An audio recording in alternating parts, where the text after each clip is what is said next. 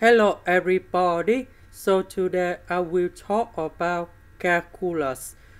The topic today is about integration. So now I will show you how to answer. Sine 2x we change for 2 sine x cosine x. Next, we need to use about integration by substitution.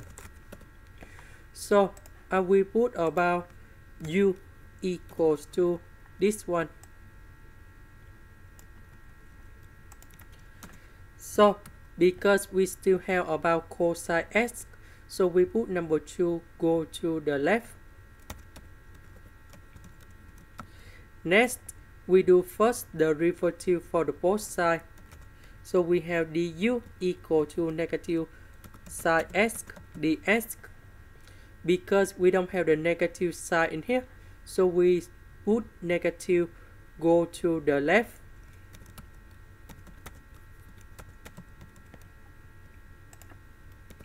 Next, we need to change the bounds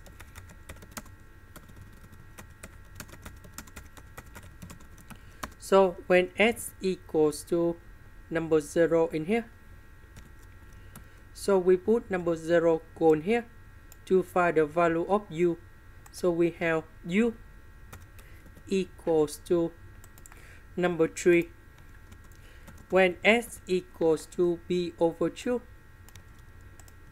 so we have u equals to number 2 because cosine of pi over 2 we have number 0 Number 0 we change for number 3. pi over 2 we change for number 2. 2 plus cosine x we change for u. Cosine x we change for u minus 2. Sine x dx we change for negative du.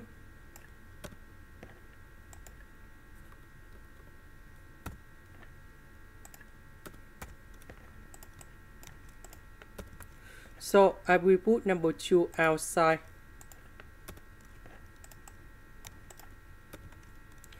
u divided by u, 2 divided by u.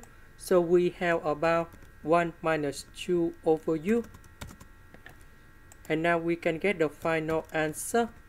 The integral of number 1 we have u. The integral of 2 over u we have 2 ln of the absolute value of u and we put about the bounds from number 3 to number 2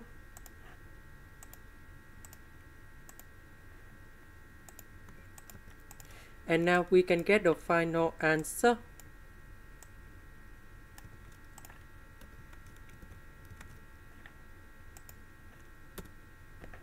Because negative with negative we have positive in the bottom.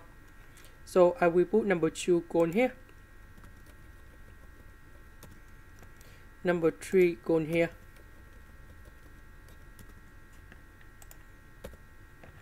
So we have negative number 4 plus 4 ln number 2 plus 6 minus number 4